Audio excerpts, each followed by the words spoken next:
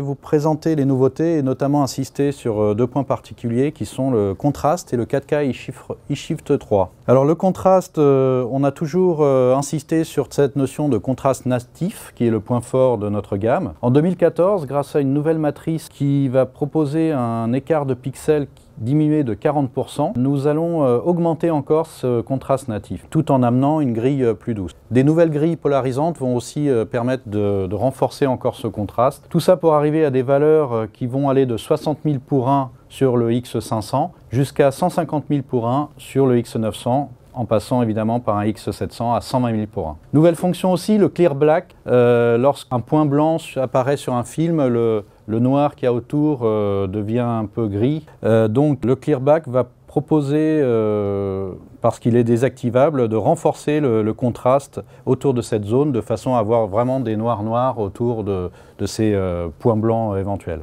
Le 4K eShift 2, donc déjà présent l'année dernière, proposait de transformer une image 2K en image 4K, 4K eShift donc, 3840 par 2160. Cette année, le eShift 3 va vous proposer de rentrer une image 4K donc native, de la traiter de façon à passer par euh, la matrice et ressortir la matrice qui est en 2K et ressortir donc une image 4K eShift 2, eShift 3 pardon, sans aucune perte. Voilà, parmi les autres nouveautés 2014, je dois évoquer euh, la présence d'un ClearMotion Drive 3 alors, euh, il va fonctionner cette année en 3D. il va fonctionner bien évidemment avec les signaux 4K.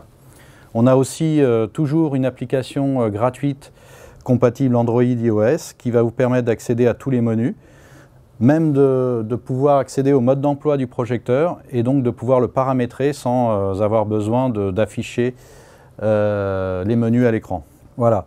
Et je terminerai donc sur un petit, un petit tour de la gamme. Donc le, le X35 euh, qui est notre produit à 50 000 pour 1, 1300 lumens qui continue.